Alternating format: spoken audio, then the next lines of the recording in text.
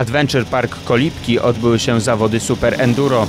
Po naszpikowanej przeszkodami trasie ścigały się 100-kilogramowe motocykle. Czwarta runda e, Mistrzostw Polski Super Enduro. Jest to nowa, młoda dyscyplina, która u nas dopiero raczkuje.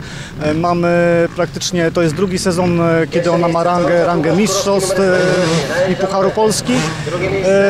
Bardzo ciekawa dyscyplina, ona ewoluowała z dwóch dyscyplin, z motocrossu i, super, i, i z enduro. To są takie, i, i to, to zbiera, zbiera to najlepsze, najlepsze elementy tych dwóch dyscyplin.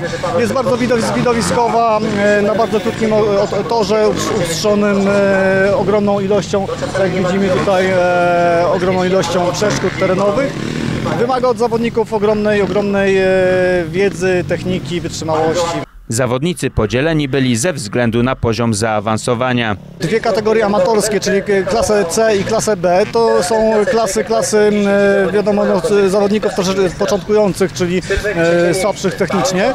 No i mamy Mistrzostwa Polski, rozgrywane są w dwóch kategoriach, e, klasy otwartej i, i klasy junior, gdzie w juniorach do, do, lat 21 startują zawodnicy. Mamy tutaj z zawodników takich znanych, mamy wicemistrza świata Super Enduro Pawła Szynkowskiego. On, startuje, e, startuje w klasie, w klasie otwartej Mistrzostw Polski.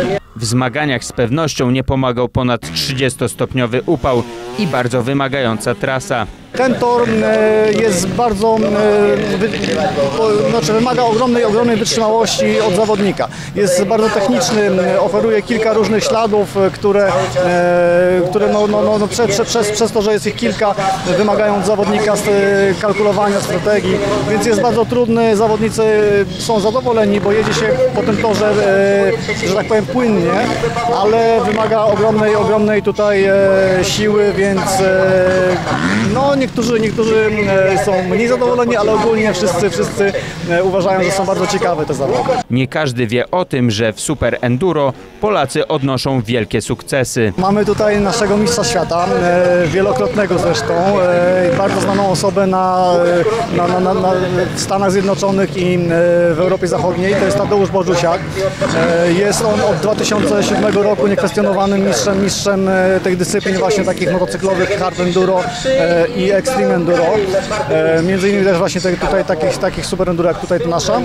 E, No jest y, numerem jeden. E, W Stanach, w Stanach jest e, postacią naprawdę bardzo rozpoznawalną. E, Podejrzewam, że na pewno bardziej niż, niż Adam Małysz czy, czy Wałęsa nawet.